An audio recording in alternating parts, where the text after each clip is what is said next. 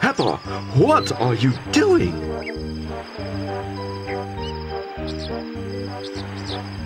My best.